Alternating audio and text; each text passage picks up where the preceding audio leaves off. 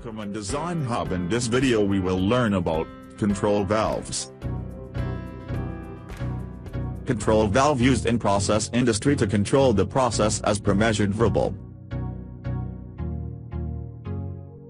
Measured variable can be, pressure, liquid level, flow rate, etc.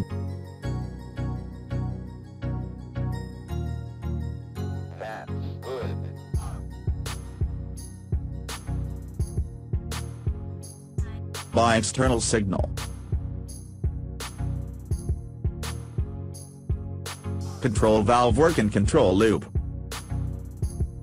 For control loop, required three tasks. First, measurement. Second comparison. Third, adjustment.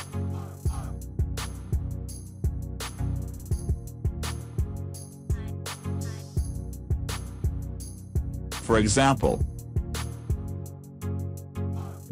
in this we need to maintain liquid level, as per set point. So first, we need to measure liquid level. Then we need to comparison by set point. After comparison we need to adjust liquid level and accordingly control valve will open and close. When level go up, as per set point, control valve open. Level go down. Control valve will close. Now we will discuss one P&ID example. For pressure control operation. See. This is control valve. This is IP transducer. This is controller. And final device for measurement. Pressure transmitter.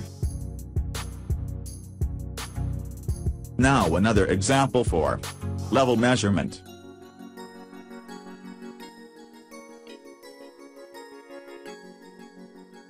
For level measurement, we need to define first low level and high level. You can see in this P&ID